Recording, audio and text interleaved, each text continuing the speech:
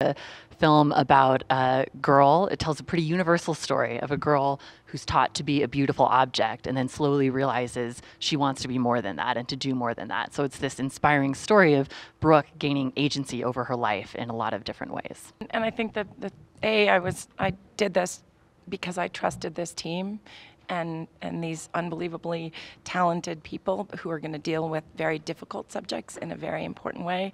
Um, and I think the story is much more relatable on a more universal level than people might even expect.